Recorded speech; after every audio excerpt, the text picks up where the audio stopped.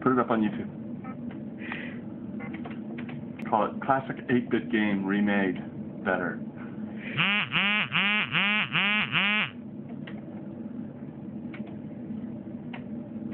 There you go, buddy. Oh, I got caught!